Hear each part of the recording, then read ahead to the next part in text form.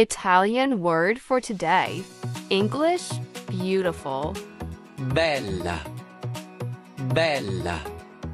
Let's use it in a phrase. English, you are beautiful. Sei bella. Sei bella. Thank you for liking and subscribing.